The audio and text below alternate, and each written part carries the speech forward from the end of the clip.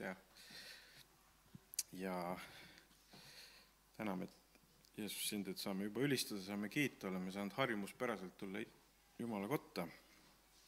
see on hea harjumus ja tänu sulle, Jumal, selle eest. Aita, et, et see harjumus ei kaoks kuhugi Jeesuse nimel, et see harjumus, mida vaenlane proovib siin ümber kirjutada, ei kirjutuks meie südamest kuskile Jeesuse nimel ja ja aita ka tänast sõna ja juhi ise, anna veel juttu juurde, mida on vaja ja jäta midagi ära, mida ei ole vaja ja palume sinu abi tänaseks Jeesuse nimel, aamen. ja ma täna ka mõtlesin ja siis mul ikkagi mõtted läksid südametunnistuse juurde, sellepärast et mul oli niisugune tunne, et meie ühiskonnas käib üks südametunnistuse ümbertegemine. meil käib hoopis nagu selline, et noh, kas või meilgi, kristlastel, üritatakse südametunnistust ümber teha, et millal käia palvelas ja kuidas tohib käia ja ja, ja üritatakse meile uut eluviisi rakendada siin. aga, ja, ja mõtled, et ja siis kolime kõik ainult sinna internetti. aga mul vend vist ütles seda, et, et, et aga kui siis, kui kõik oleme juba internetti läinud, siis tuleb otsus, et nüüd keerame interneti kinni, aga mis siis saab et no siis on ju täielik nagu mõttetus, et noh, et läksime sinna ja heas usus ja lootuses, aga aga siis, siis öeldakse, et see kraan ka kinni keerata. aga tänu jumalale, et Riias oli üks, üks, üks, üks geenius mitte ammu, kui oli Aleksei Ledjäevil oli üks, selle konverentsi pealkiri ma ei mäleta, aga nad rääkisid seal ka sellisest digitaalsest probleemist, mis on siin meil ühiskonnas, et et, et meil on need suured gigandid seal Google, Facebook ja, ja Amazon ja ja ja siis oli üks kristlane, kes elab Šveitsis, ta on sakslane, aga ta räägib vene keeles, ta on vist volgasakslane arvatavasti, omaaegne. aga, aga tal on südames eh, ehitada siis selline uus võrgustik, eh, kus eh, noh, ta pakub tulevikus ka serveriteenust, praegu on tal olemas otsingumootor, Swiss Cows, siis on tal äh, olemas selline, mis oligi, Whatsappi asendaja selle nimi oli, ma ei mäletagi, mingi telekaart, telekaart, jah, telekaart. ma ise veel väga palju ei kasuta seda, kuna seal on vähe sõpru, aga me peame sinna ka kolima hakkama. ja see on nüüd selline keskkond, mida see kristlasest, kristlasest IT-mees või see kristlasest arhitekt, arhitekt, kes ta seal seda asja kavandab, on lubanud, et tema küll neid kraane kinni ei keera, tema midagi tsenseerima ei hakka, tema ei hakka uurima, mida me seal räägime tema ei hakka tsenseerima, noh, meie sõnu kokku seal otsima, et, et huvitav, mis teemadel me räägime, ta täielikult anonüümselt te-, jätab meile võimaluse rääkida ja ta ei keera mingeid kraane kinni, samas on ta keeranud krin-, kinni oma otsingumootoris kõik patukraanid. et kui ma proovisin, ma proovisin rumalaid sõnu otsida, täielik vaikus. Ütlesin, et slava bogu, et üks võtsimootor on täielik puhtus, et noh, paned kõige rämedamad sõnad, mis ma tean, vaikus. Ilus pilt on ees, pole olemas. nii et oma lastele tasub soovitada seda ja me ei ole kaugel võib-olla need ajad, kui me peame ka kirikuna kolima sellistesse serveritesse, sellistesse kanalitesse, mida ei saa tsense-, niimoodi tsenseerida. sest see Amazon, see on hästi suur firma ja see keeras kinni vist selle ühe mingi teisesuguse Whatsappi-laadse parleri, no praktiliselt, ma ei tea, kahe päevaga või ma ei mäleta, kuidas see otsus käis ja, ja terve terve suur värk kukkus kokku, lihtsalt otsus, ma kustutan su failid. ja ongi kõik. Nii et jumal võib kustutada Google'i ja Facebooki kahe päevaga või ühe päevaga. File delete ja korras. nii et ärge kartke neid, neid torne need on väga lihtsasti kustutatavad. File ja delete ja läks. nii et, aga usume, et et, et Jumal hoiab oma rahvast, uued geeniused on sündinud, uuse, uued Joosepid on sündinud, kes valmistavad ette ka meile, et me saaksime omavahel ühenduses olla et mm, et me saame tulevikus ka internetis ikkagi olla. sest mine tea, me räägime Youtube'is siin juttu, ega kui hakata programmeerima, jätta väike viivitusmoment, enne kui laivi läheb, saab kirjutada igasuguseid programme vahele, näiteks et ütleme, kui sa ütled ühe sõna, kui ta analüüsib, et sa selle sõna ütlesid, ta võib selle lause vahelt välja kustutada sul.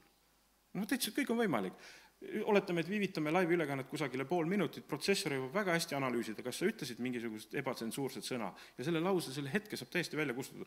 tegelikult on kõik võimalik, on vaja, me kuulame ühte juttu, võib-olla teisel pool, või räägime ühte juttu, teisel pool hakkab tekkima teine jutt. no kõik on ju võimalik, mine tea, mis selle tehnikaga saab kõike teha tegelikult, omamoodi jama.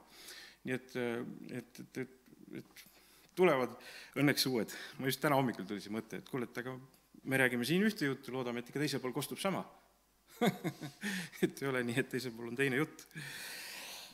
aga nii, ühiskond tahab meile kujundada südametunnistust, see on selge, et ta tahab seda teha ja nii on kogu aeg olnud. ja üks osa meie südametunnistusest ongi ühiskonna kujundatud, tänu Jumalale, et üks osa sellest on Jumal maailma loomisest meile pannud ja see on see ilus ja puhas südametunnistus. me kõik äh, äh, mäletame kommunistlikku aega, mil meile kirjutati ja õpetati kommunistlikke väärtusi, mina olin õnneks nii väike poiss, et ma rohkem kuul-, kuulsin kuuldusi sellest ma jõudsin natukene näha seda kommunistlikku aega, aga paljud inimesed elasid selle järgi, seal olid omad väärtused, omad hoiakud, kõik vist töömehed mäletavad seda tööhoiakut, jutumärkides tööhoiakut, meid nad räägivad, et kui ülemus tuleb, siis peab vähemalt tööhoiak olema. tööl pidi käima ja tööhoiak pidi olema. Et aga au oli antud tööle ja töörahvale, noh, täiesti teised väärtused, eks ju. nüüd on au antud eraettevõtlusele, ärile võib-olla ja startup-idele või mis asjadele me siin au muudkui anname. au antakse erinevatel aegadel erinevatele asjadele aga kui mina läksin esimesse klassi, minu esimene peatükk oli ka Leninist. tundus natuke kummaline, aga õpetaja pühendas terve tunni Leninile. ja see oligi esimene, abitsa esimene lehekülg, Lenin. ta oli suur ja üllas, ma olin seal Tallinnas vist kolmekümne teise keskkooli kõrval lasteaias ja õpetaja pühendas selle tunni Leninile. Õnneks pärast Leninit, eh, seda, pärast seda esimest tundi ma ei mäleta mitte midagi sellist ideoloogilist väga enam võib-olla ta midagi märk-, ütles, aga üldiselt ta tegi oma asja ära ja sellega oli tehtud. vahele ei jäänud. et ma õnneks rohkem ei mäleta, et ideoloogilist juttu. Ma olin kuueaastane, tollel ajal ju mindi kuueaastaselt kooli ja ma olin nii väike, et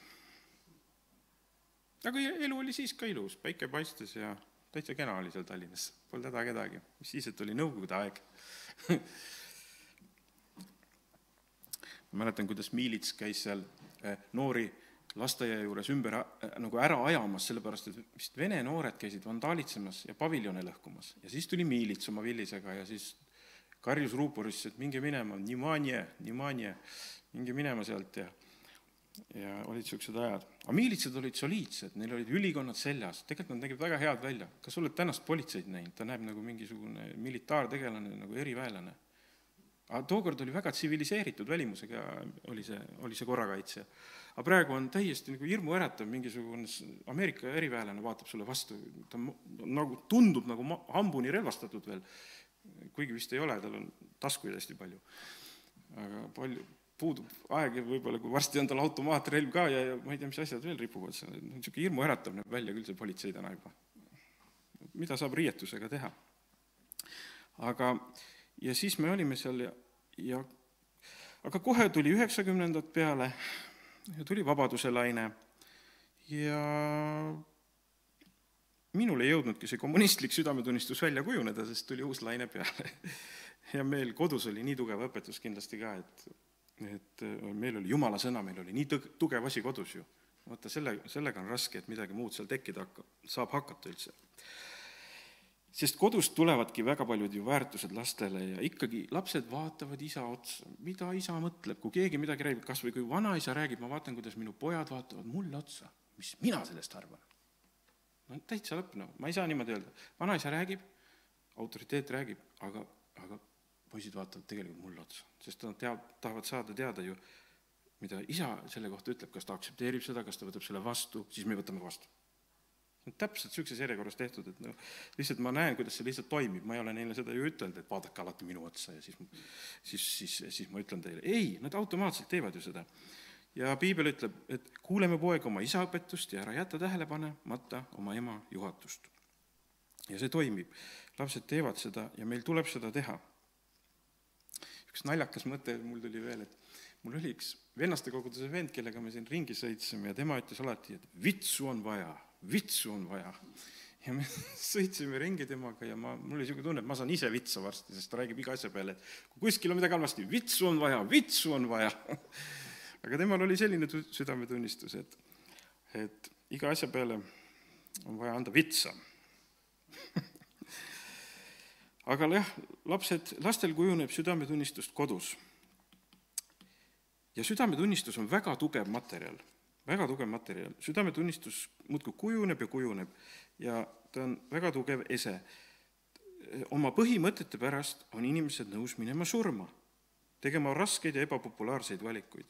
see on inimestele väga oluline, see on nende seesmine hääl, see on nagu kammendo-, kammertoon või laanoot, mille ümber häälestatakse kogu helistik et see, see on väga kõva asi, on südametunnistus. kui see juba saab oma kooriku peale, siis see hakkab nii kõvasti elu juhtima. ja vaenlane muidugi tahab õpetada mõningaid asju, et need mitte kuidagi, mitte kunagi ei muutu. ta on ürit-, eh, saanud õpetada ja ju sedagi, et, eh, et geenid näiteks ei muutu mitte kunagi. no vähemalt see õpetus ju levis, nüüd on see ümber lükatud, et geenid ei muutu. aga muutuvad ju noh, tahab, ta tahab teatud asjade kohta kindlasti alati öelda sulle, et need alati jäävad, nii on ja nii jääb. aga, aga need asjad, mida ta väidab, et nii jääb, ei pruugi üldse tõe, tõsi olla, asjad muutuvad. näiteks praegune vaktsiingi, ma saan aru, et on rünnatud just meie DNA-d ja geene. no kus see nüüd õpetus on, et geenid ei muutu? Nad ise juba sünteetiliselt tahavad seda ju rünnata, eks ju, noh. nüüd on hoopis teine õpetus. ja ja ta tahab öelda, et ka meie südametunnistusega on sama teema, et see ei muutu ja see jääb. ja kogu aeg, kui me sealt midagi kuuleme, et nii peab olema ja nii peab jääma, nii on õige. et sa ei saa mitte midagi teha. sa pead elama oma südametunnistuse järgi ja see ongi õige. Me peamegi elama oma südametunnistuse järgi, sest Jumal hakkab meile kunagi meie südametunnistuse järgi kohut mõistma. see ongi väga õige. ja, ja ta hakkab seda tegema. ta hakkab mõistma paganatele pagana südametunnistuse järgi kohut, ta hakkab mõistma juutidele juutide südametunnistuse järgi kohut ja ta hakkab Uue Testamendi kristlastele uue testi-, eh, nagu meile eraldi kohut mõistma, et tuleb vähemalt kolm kohut. Nii vähemalt Aleksei Ledejev õpetas mitte ammu ja ma olen seda varem ka kuulnud tema õpetusest, et tuleb kolm erinevat kohtuprotsessi vähemalt. paganatele oma, juutidele tuleb oma, neil on oma ülesanded, mida nemad pidid täitma, eks ju, mida Jumal on neile andnud, neil on palju rohkem käske ja keelde, mida meil ei ole, eks ju, paganatel on palju vähem, ja kristlastele, eks ju, kui me võtsime Jumala vastu ja hakkasime Jumala sõna lugema, hoopis teine kohus tuleb meile. Nii et see on väga, väga huvitav ja mõtlema panev ja Jumal ainult selle üle mõistab kohut, mida me teame ja mida me oma mida me oleme pidanud õigeks oma nagu südametunnistus, mis on õige nagu, mida me teame, parimat, mida me teame, eks ju selle järgi. jumala sõna kõike ei tea, kõiki õpetusi kõike ei tea, mille üle sa seda kohut mõistad? seda, mida ei tea, selle üle kohut mõista ei saa ju, eks ju, ma tahan nagu seda öelda. Ro-, ja, ja selles mõttes on tõsine asi, see südametunnistus ja lähme Rooma kaksteist kaks. isa juba mitmel korral palvetas, ütles, et et meele uuendamine, meele uuendamine täna rääkis ja ma mõtlesin, et täna ongi see kirja koht, et väga tore, et ja ärge muganduge praeguse ajaga, vaid muutuge meele uuendamise teel, et te katsu, katsuksite läbi, mis on Jumala tahtmine, mis on hea ja meelepärane ja täiuslik. Ja ärge muganduge praeguse ajaga, vaid muutuge meele uuendamise teel, et te katsuksite läbi, mis on Jumala tahtmine, mis on hea ja meelepärane ja täiuslik. no nüüd on käes vaktsineerimise periood ja, ja aga et me ei muganduks praeguse ajaga, et me muutuks meele uuendamise teel, et me katsuksime läbi, kas see on Jumala tahtmine, kas see on hea, kas see on meelepärane ja kas see on täiuslik. Katsuge läbi see vaktsiin, kas see on hea, kas see on meelepärane ja täiuslik, Jumala tahtmine. see tuleb läbi katsuda ja julgelt läbi katsuda. mõelge kõikidele kõrvalmõjudele, mis seal kirjas on ja mõelge, kas see on hea, täiuslik ja meelepärane. aga mida ütleb Jumal meie immuunsussüsteemi kohta, see on hea, kas see on hea, meelepärane ja täiuslik süsteem? mina usun küll, sest kui Jumal inimese, siis ta ütles, mida ta ütles, kui ta inimese ära lõi, oli kuues päev või? ja kõik, mis ta tegi, see oli hea. tähendab, meie immuunsussüsteem on hea. amin, on ju. tähendab, on hea, see toimib hästi ja jumal on õnnelik, et see tuli tal hästi välja. sinna ei pea niimoodi praegu midagi juurde lisama. tuli välja hästi. ja ärge muganduge praeguse ajaga, sest elu muudkui liigub ja liigub. midagi ei seisa, midagi ju ei seisa meie elus, et aeg muudkui liigub. ja see ongi see praegune aeg, ta liigub ühes suunas, ta muudkui läheb, ja aga on ka miskit aegumatut, mis jääb, eks ju. ma vaatasin, mis tähendab sõna muganduma. no muganduma ongi, et taimed muganduvad kasvu, kasvukoha tingimustega ja siin on kirjas, no niisuguseid näiteid, et kuidas võrrelda seda sõna. vana inimene ei mugandu uuega, kuulekus ja muganduv inimene, seda, et nüüd siin on, niisugune sõna on kasutuses, et see on niisugune noh, taim peab muganduma kasvukoha tingimusega ja seda ta oskab teinekord väga hästi.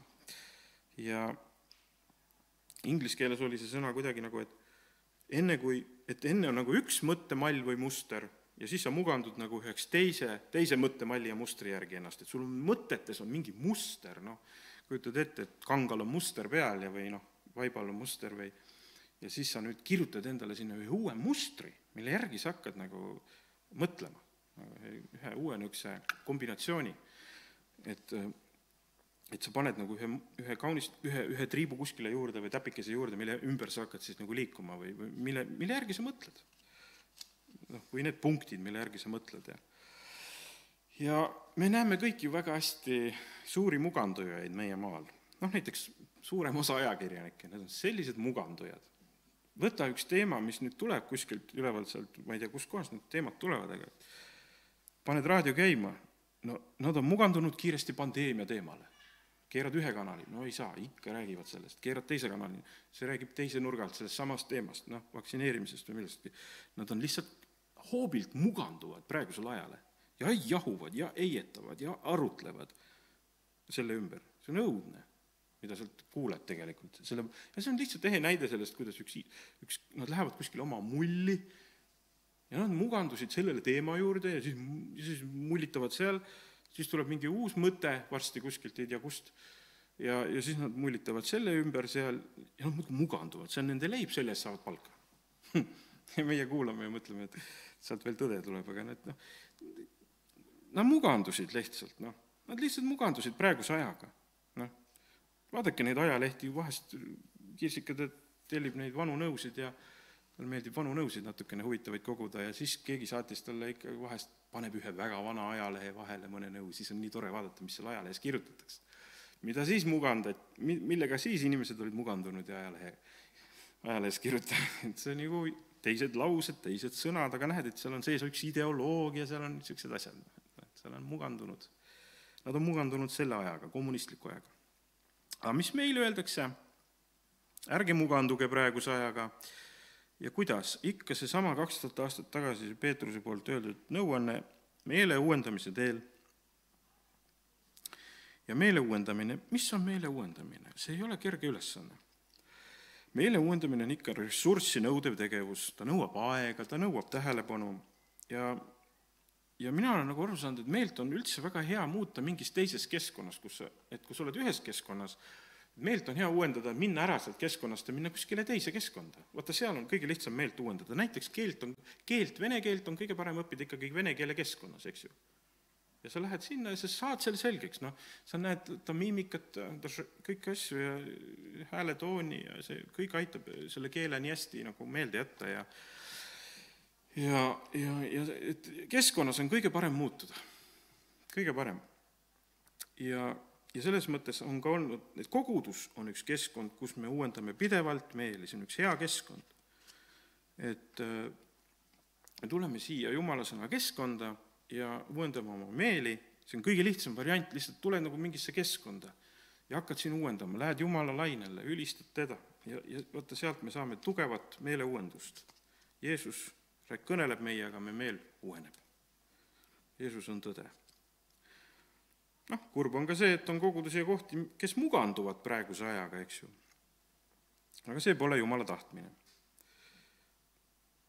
meie jaoks on vajalik, et, et tuleb see taevane update Jumala käest, värskeid mõtteid, värskeid sõna, värsket sõna ja, ja siis me saame oma meeli uuendada. loeme Jumala sõna ja saame ka tänast niisugust värsket sõna ja reemat ja, ja siis meie meeled uuenevad meele uuendamine ei ole kerge ju tegevus. Ma mäletan, et kui tuli üheksakümnendatel näiteks need uued kogudused, kõige lihtsam oli uuendada meeli uutes kogudustes külas käies, eks ju. Läksid sinna, seal olid teised laulud, seal oli teine õpetus, seal olid julgemad õpetused tervenemisest, kõik seal ja õigsusest ma mäletan ja ja kõiksugu asjadest ja ülistusest oli neil teine, sa läksid sinna keskkonda, sa saidki meele ära uuendada. Korras, väga lihtne või nagu palju lihtsam, kui tuled äh, kuskile ja siis läksid kuskile teise kohta ja mõtlesid, ai, mul meel juba uuendatud, mul nagu ei saa siin hästi olla enam, mul on meel uuendatud. teises kohas, kus on vana veel uuendus. Läksid vanasse kogudusse kuskile, vaatasid, et raske on olla juba, update on ära käinud ja nüüd on raske, aga vaata, südametunnistus hakkab siis vist segama juba, meel on uuendatud ja südametunnistus hakkab segama, meel hakkab segama. nii. ja meie meel ja südametunnistus ju teevad hästi tihedat koostööd. meie meel kogu aeg konsulteerib südametunnistuse nagu häälega ja püüab häälestada selle kammertooniga. et kui me midagi mõtleme, pidevalt proovime nagu südametunnistust, et kas see on õige, kas see on õige, kas see on õige, kas see on hää-, kas me oleme helistikus, kas see on õige. et meie meel on äh, ja meie kuidagi kui ma õieti aru saan, aga mulle tundub, et meie meel pidevalt otsib seda rahu, seda kinnitust, seda okeid, et nüüd, mida ma teen, on õige. ja aga meele uuendamine ju tegelikult, aga omamoodi on jälle, minu arust tundub nii, et meele uuendamine jälle muudab meie südametunnistust. et kui meie näiteks laseme oma as-, omale mõtteid, uusi mõtteid siia meelde, siis see hakkab meie südametunnistust hoopis muutma mis on tegelikult väga adukäev asi, üks kõvemaid materjale meie sees, mis kogu aeg, mida me ja, ja seal on, ma olen just hiljuti remontisin nüüd siin kodu eelmine nädal ja ja seal on värvimine. ja kui värv kõvaks kuivab, eks ju, on seda ikkagi päris raske eemaldada. ja kui meie südametunnistusel on mõni kiht, mis on nii kõvaks kuivanud, mis annab seda tooni, siis tuleb ikka kõvasti hõõruda ja puhastada, et see vana värv sealt maha tuleks, eks ju peitliga või igatemoodi peab saama seal ragistada, et seda, et seda tooni sealt maha võtta. nii et õige see, see meele uuendamine ongi, et sa nagu võitled pigem nagu selle südametunnistuse mingi osakihiga ka, kes kogu aeg sulle ütleb oot-oot-oot-oot, mida, mida. see on niisugune koostöö ja, ja meel on harjunud mingit rada pidi mõtlema, südametunnistus on, on teatud kihid, mitte see, mida Jumal lõi, mida ta algselt lõi, seda me ei muuda, see, see on, seal meil ei ole kirjutamise õigusi meil ei ole nagu sinna, mida Jumal meisse paneb, kui me uuesti sünnime, seal ei ole meil mingid, et nagu arvutis on, seal ei ole neid ülekirjutamise õigusi, seal ei ole kustutamise õigusi, seal ei ole äh, ülekirjutamise õigusi, seal ei ole kopeerimise õigust, ma ei tea, või kõik on originaalne. Vot see on niisugune südametunnistus, mida Jumal paneb, aga sinna peale tulevad meil niisugused ühiskonna poolt ja meie asjade po-, õpetuste poolt erinevad kihid, mis aeg-ajalt meil on nii kirjuks läinud see muster, ma ei tea, homoseksuaalidel on niisugune vikerkaarevärviline kiht seal peal, see tuleb maha pesta Nendel on niisugused värvid seal peal, on ju, piltlikult öeldes. ja kui südametunnistus, aga samas on ta kõva kiht, mis ai-, kogu aeg meid juhib ja, ja ja Jumala sõna on see, mis aitab seda puhastada. See pole kerge sest see hakkab sulle vastu, see kiht, ta ütleb sulle, et sa lähed vastu ju oma südametunnistusega, see on nii peen värk, et sa lähed ju omaenda südametunnistusega praegu vastu ja ja aga teinekord tuleb minna. meil tuleb läbi katsuda, et kas, kas need põhimõtted ja hoiakud, kas see on Jumala hea, meelepärane ja täiuslik tahtmine ehm näiteks miks lähevad paljud inimesed ka ennast vaktsineerima, sellepärast nende südametunnistus sunnib seda tegema. Nende südametunnistus sunnib seda tegema, sest nad ei taha olla need ohtlikud inimesed, kes levitavad pisikuid, sest nad ei tahavad head inimesed olla. noh, sa ei taha panna teisi ohtu, sa, sa oled ainult lugenud ajalehti, kuulnud uudiseid võib-olla väga palju. Ja su südametunnistuses ja AK-s ka öeldi, et meelepärane ja täiuslik asi on ja tuleb kindlasti minna vaktsineerima, see on hea, see on meelepärane ja täiuslik, ära kõhkle, on ju sulle öeldi nii veenvalt seda seal, on ju, ja, ja lõpuks läheb ta südametunnistuse kui ühe kihina peale. ja see hakkab kuivama seal, see hakkab kuivama seal üheks võimsaks kihiks. ja varsti on nii, et ma ei saa öösel ka magada, ma lähen teen selle süsti ära.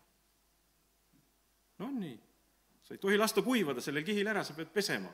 Kuidas ütleb, et jumala sõnaga tuleb tihti pesta, vaata, kui ma praegu mõtlen, jumala sõnaga tuleb tihti pesta ennast, et need kihid ei kuivaks sinna külge.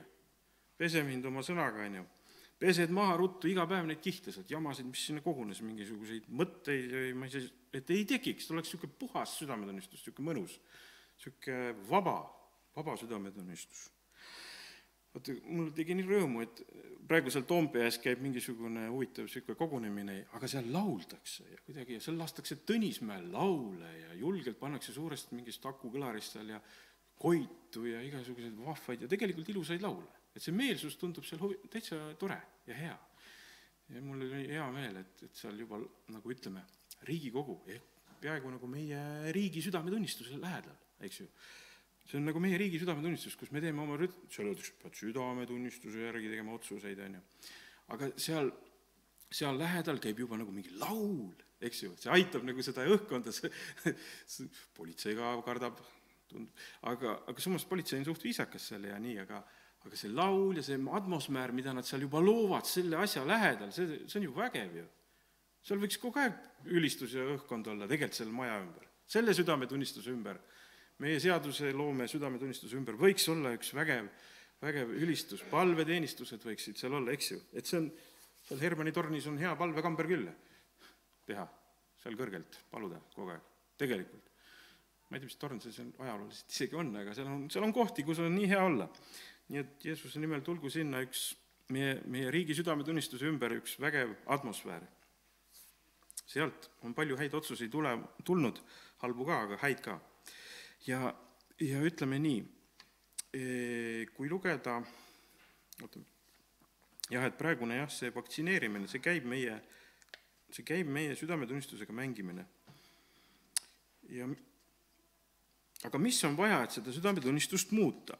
on vaja midagi tugevat, eks ju, Jumala sõna ja Hebra neli kaksteist ütleb, sest Jumala sõna on elav ja tõhus ja vahedam kui ükski kaheterane mõõk ning tungib läbi, kuni ta eraldab hinge ja vaimu, liigesed ja üdi, üdi ongi nagu see südametunnistuse piirkond või südamepiirkond, öeldakse, et üdis ongi see meie see, või ma ei, kas ma olen õieti kuulnud, aga üdi, üdi on üks tähtis koht.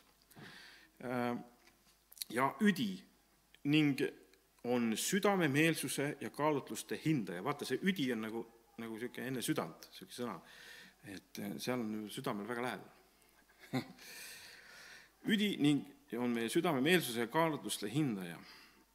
nii et selle sõnaga sa saad väga hästi, see sõna peab olema lähedal, sellega sa saad ennast puhastada. sa saad need mustrid ja teed Eh, mis tulevad Jumala sõnast. sa saad need ja mustrid ja teed panna oma südametunnistusele ja meelde. just meelde ja ta kuivab su südametunnistusse. kõigepealt meelde, meeli peame uuendama. Jumala sõna on see tugev asi, kui see on sul lähedal, sul ei saa tekkida mingit niisugust viletsat jama ja kihte sinna. Jumala sõna peab olema su perekonnas lähedal, et ei tekiks viletsaid õpetusi ja, ja viletsaid mõtteviise kodus. ja et ei tekiks paganlikke mustreid sinna, äkki ei tekiks selliseid asju, sest mul oli kuidagi imelik ja kurb vaadata, et Viljandis tehti see, kuidas, ma elasin ju mitte ammu Viljandis, eks ju, seal tehti see logo ja, ja kõik need, kuidas öelda, need kujundid, mis selle Viljandiga seostuksid või noh, lasti kujundada selline väga paganlik selline muster ümber selle linna nime, bussid joonistati mingeid imelikke paganlikke märke täis. no ütleme, see bränd nagu Viljandi tehti hästi paganlike kujundite ümber, noh, aga need ongi niisugused mustrid, mis meil silma ees on.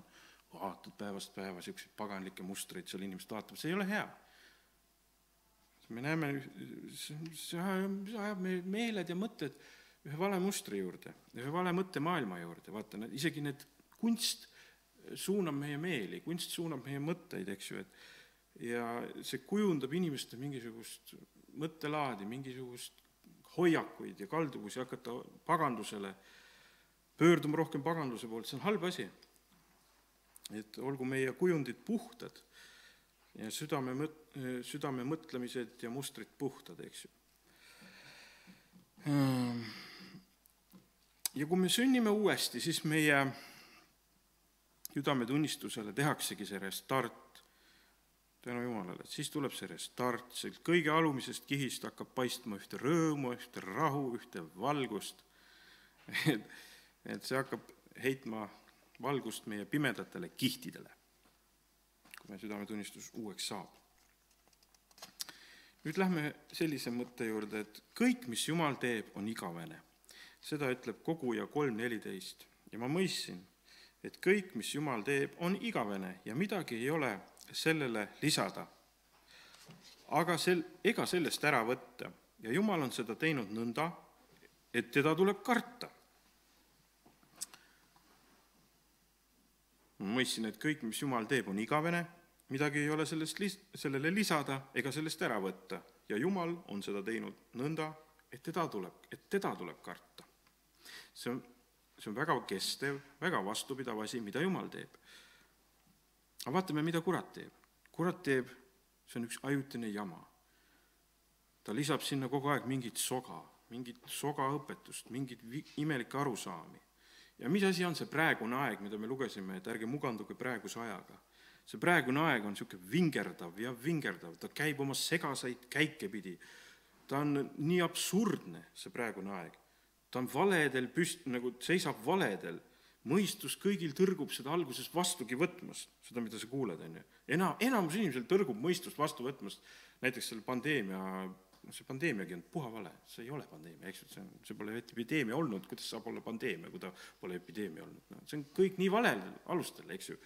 et äh, üks Ület Skripilaine või kui sedagi, ja et vaata, kõik on valedel, kõigil mõistus alguses tõrgub seda vastugi võtmast. inimestel ei jõudnud kohale, mask ju ei aita, kõik teadlasedki alguses ütlesid, et see ei aita tähendab, see on absurdne, see, mis kurat teeb, on absurdne, vale, mõistus tõrgub selle vastu. seda on vastik ja raske uskuda, mida räägitakse. aga inimene, see on võimeline muganduma igasugu viletsa õpetusega.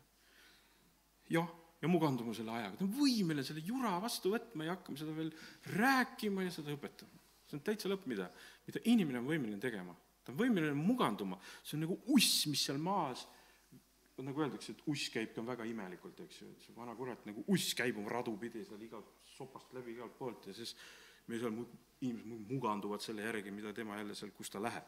üks segane, absurdne liikumine, mida, mida kurat teeb. aga mida Jumal teeb? see on, see on, see on normaalne, see on loogiline, see on mõistlik, see on hea.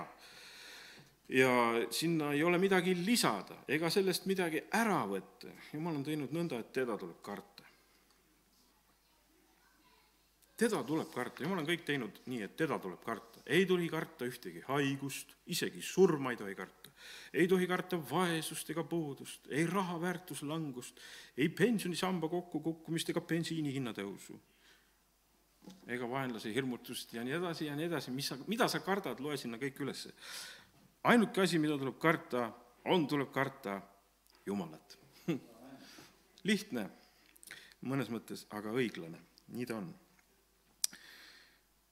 ma isegi vahest panen ennast tähele, ma ei tea, noh, ma ka ajas natukene muutun ja, ja siis ma vaatan, et huvitav, et ma kardan teatud asju õhtul rohkem kui päeval, et näiteks kui ma teen päevatoimetused ära, ma ehitan midagi või, või, või, või, või teen tööd midagi või siis ma nagu ei karda neid teemasid.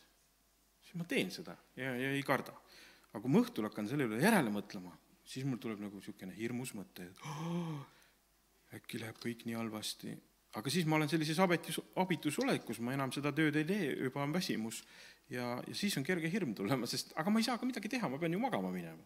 aga siis mul tuleb hirm, et ei tea, vist läheb kõik ikkagi halvasti, kõik asjad ei õnnestu ja tekivad hirmud. aga tegelikult, kui me teeme igal as-, iga asja oma õigel ajal, päeval teeme päevaseid asju ja õhtul ei tegele muretsemisega, vaid õhtul ma ei tea, mõtleme igavikule, mõtleme Jumala sõnale, kui on pime, no me ei saa kõiki asju enam pimedas teha, siis, siis ärme tegele selle hirmu kartmisega seal, ei ole mõtet tegeleda, tuleb uus päev, tuleb uus julgus ja asjad nagunii lähevad edasi. ja ma mäletan, oli, saime, no paigaldasin ühte küttesüsteemikest, mis me saime ja ja siis mul oli suur hirm, et see hakkab vist hirmsat häält ja kolinat tegema öösel, kui ma magan. siis ma mõtlesin, et ma tegin ühe suure rumaluse, ma paigaldasin ühe süsteemikese, mis nagu mootoriga, eks ju, ja nüüd ei saa ju magada inimesed seal, et ta on üsna magamistoa lähedal, see küttesüsteem ja ja ma nii hirmu tundsin, ma mäletan, et nüüd ma rikkusin kõik ära, nüüd, nüüd inimesed ei saa siin enam magada. siis kui ma selle lõpuks tööle panin, see oli nii hiirvaikne süsteem, mida ma siin jälle kujutasin siin ette ja kartsin ja kõik sai korda, halleluuja, aamen. Et ärme karda, tegutseme, jumal saadab oma inglid appi, oleme julged, tegutseme. mida jumal annab teha, seda tuleb teha ja mitte karta. ja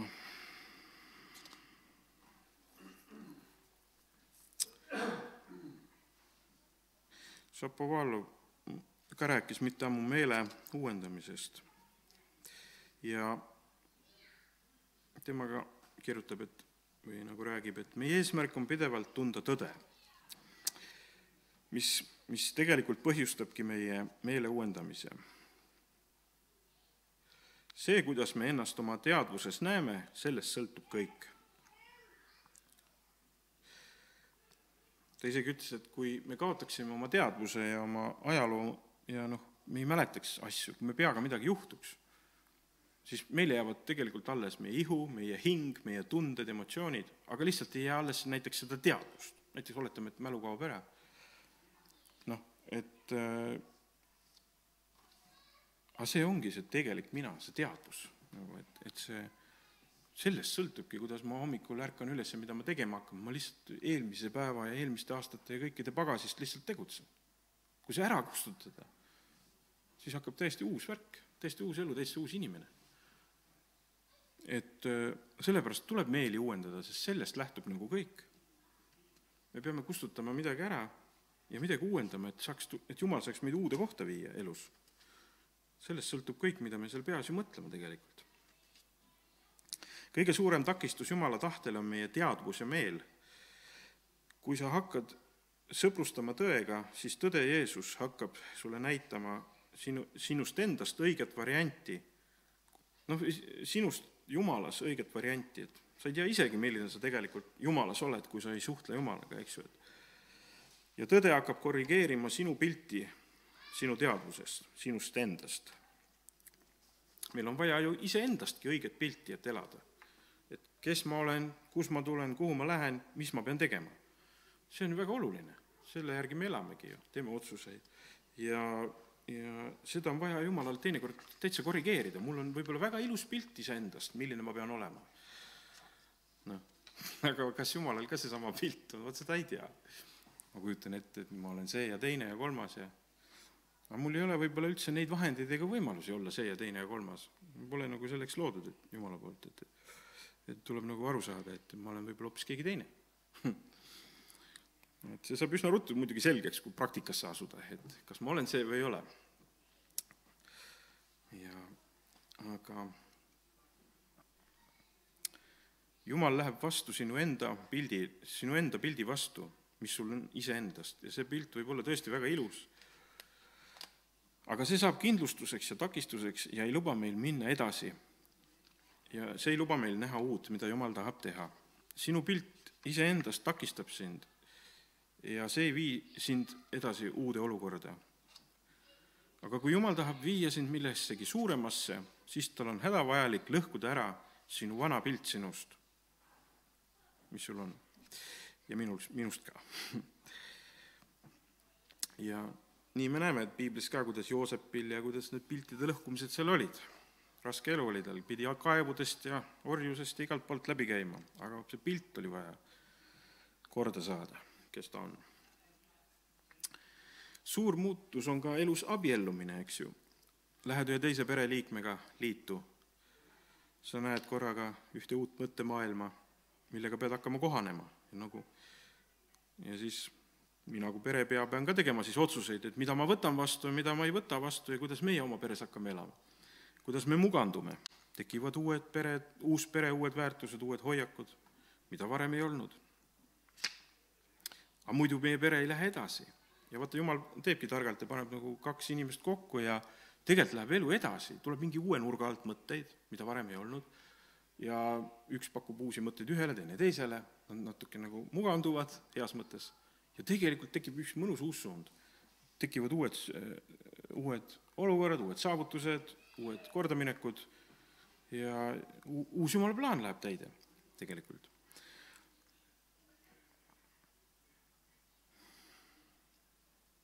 Mis asi on kümnis? kümnis on ka näiteks, see on õpetus. ja, ja see on osaks saanud juba meie südametunnistuses, et, et kui mina näiteks jätan kümnise maksmata, siis mu südametunnistus hakkab mind noomima, et ma tegin nüüd pattu. et jumal ütleb, et maksa kümnis, see on vale. ja sellepärast me eraldamegi oma sissetulekust ikkagi kümme osa Jumala riigi töö jaoks. aga enne, kui seda õpetust ei olnud, mu südametunnistus mind ei noobinud, ei noominud ja minu te-, mul polnud sellest aimugi, et, et ma peaks seda tegema. ja mul polnud südametunnistusel mingit kihti sellest teemast võisin rahuga eirata niisugust teemat. aga kui see valgustus tuleb, et seda võiks, peaks tegema, see on jumala sõna. jumala sõna on tugev asi, ma olen ju sellele ennast rajanud. võtan selle õpetuse vastu, varsti on mul südametunnistuses täitsa kiht, see on vale. näiteks sõna hurraa, on ju, ma sain teada et see tähendab, et raa kummardamist, eks ju, ma, mida ma sain teada? no pastor Šapovalov kuskil märg-, tegi väikse remargi, et tema ka sai kuskilt teada, et see on raa kummardamine, on ju. aga pärast seda, kui ma teada sain, hetkega hakkas mind südametunnistus noomima, ära enam ütle seda, hetkega, on ju. no kus sa enne teadsid, panid täiega seda sõna, on ju. aga kui sa teada saad, hetkega hakkab sul südametunnistus kohe tööle, eks ju kui ruttu tegelikult me kirjutame ühe uue niisuguse õpetuse enda südametunnistusele ja ja varsti see on, täitsa toimib. enam kui nüüd ütlen, oi, see läks sassi, ütlen teistele ka, et praegu tegelikult see ei olnud hea võib-olla ja et, et kasutame muud sõna, ütleme halleluuja. Aga et küll käib ruttu teinekord see muutus. Ja ja neid asju, mida me saame teada ja mille järgi me kiiresti joondume, on ikka palju, kui Jumal meid valgustab.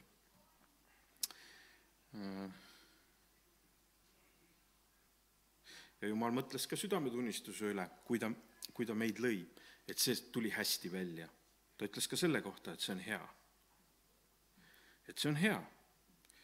sest ta nägi, et see on üks, tõesti üks hea asi, ta paneb selle meile sisse ja see hakkab meid juhtima.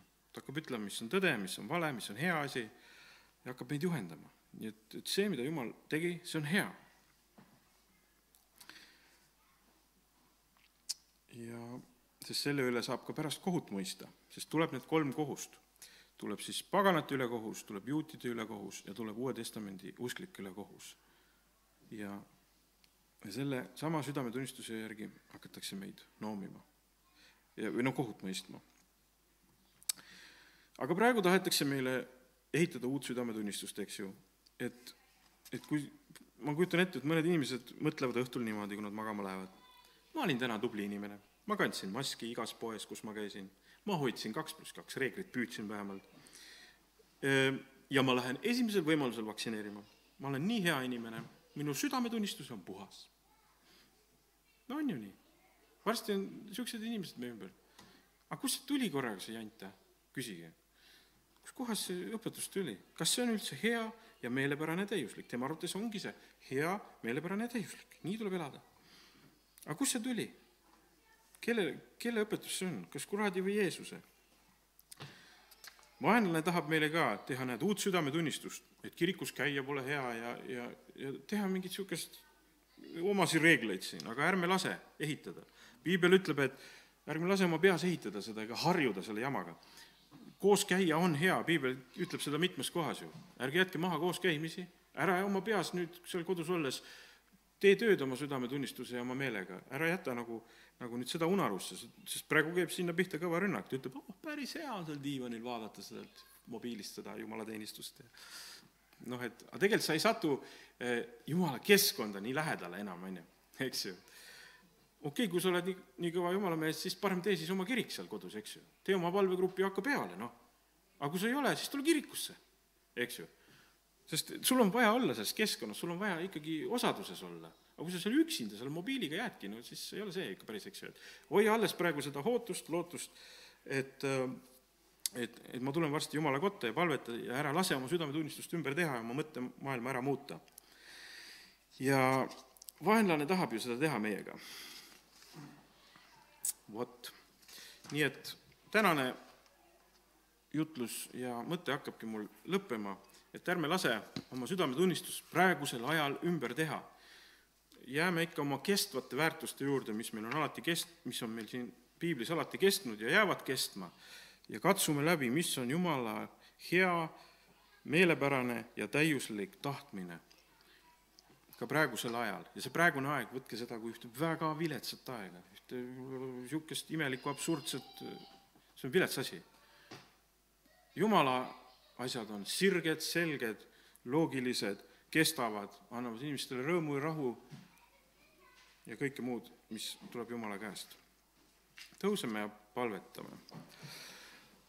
tänu sulle, Jeesus, ka tänase aja ja hetke eest, tänu sulle, Jeesus, et me võime korra tulla nagu sellest praegusest ajast välja, tulla kirikusse Jumala sõna juurde ja tuleme sellest praegusest ajast välja, sinu, sinu lähedal on selline selgus, julgus, puhtus, rõõm, rahu, pühadus, kõik need asjad. sa oled meile kinkinud nii palju ja täname sind, Jeesus, et me ei pea muganduma praeguse ajaga, vaid me peame muutuma meele uuendamise teel. tänu sulle, Jeesus, et su sõna on tugev ja las see peseb iga päev meie südametunnistust, su sõna ja see, ja meie meeli, las ta peseb, et sinna südametunnistusele ei, ei tuleks halbu kihte, millega me peame võitlema pärast, millega me, mida me peame kõvasti kraapima pärast hoiame, hoia meie meeli ja mõtteid.